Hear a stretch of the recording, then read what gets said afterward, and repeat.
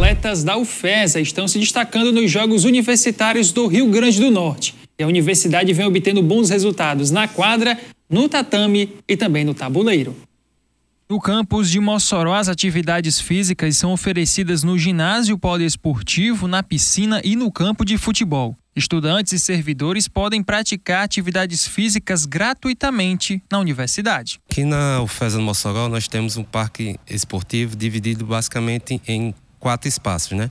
Aqui na quadra, onde a gente desenvolve as atividades coletivas, as principais, né, futsal, basquete, vôlei, handebol, que aí são voltados mais especificamente para os alunos da, das instituições, para que a gente possa competir no, nas competições universitárias, né?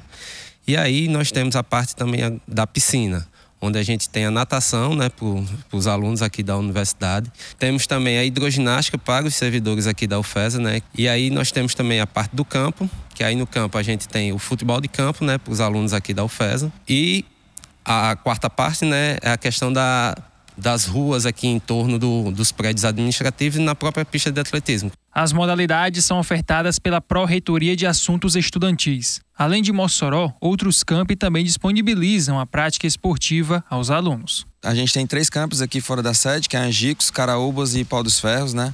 São campos mais recentes, né? Claro que a sede começou em Mossoró e aí foi se desenvolvendo para essas outras cidades. E atualmente, né, acho que uns dois anos, três no máximo, a gente conseguiu construir os próprios ginásios nesses campos e, e a gente está desenvolvendo o esporte, né?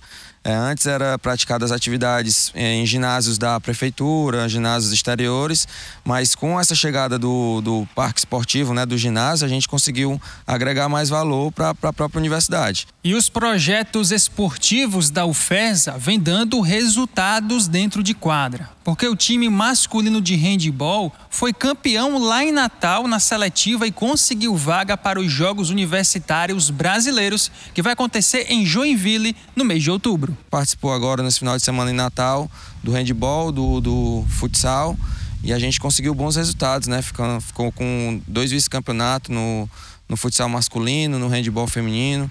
Ficamos com o terceiro lugar no xadrez e, e como principal resultado foi o handball, que foi campeão, né?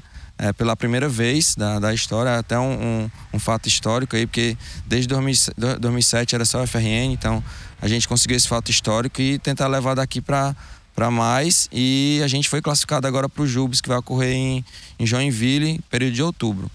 E aí é um, um marco histórico para a gente.